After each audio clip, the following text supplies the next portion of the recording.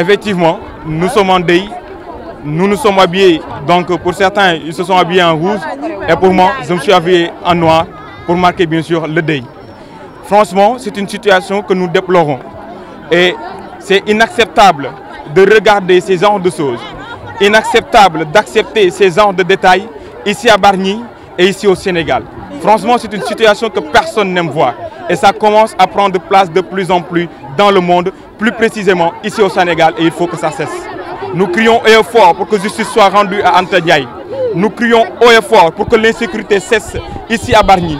Nous crions haut et fort pour que l'insécurité cesse au Sénégal. Il est temps maintenant de marquer l'empreinte. Tout le monde, la responsabilité de tout le monde est concernée. Tout le monde doit maintenant se lever et dire non à cette injustice qui est en train de prendre part, ici au Sénégal. Non à cette injustice qui est en train bien sûr de nous rendre malheureux. Et franchement, nous sommes des, des citoyens. Et un citoyen doit être civilisé.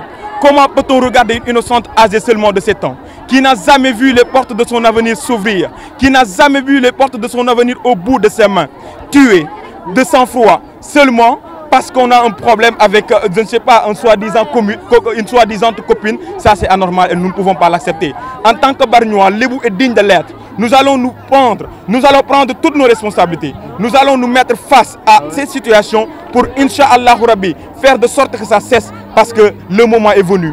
Que tout le monde sorte dans les rues et dans les réels pour manifester et dire non à l'insécurité et non à la violence.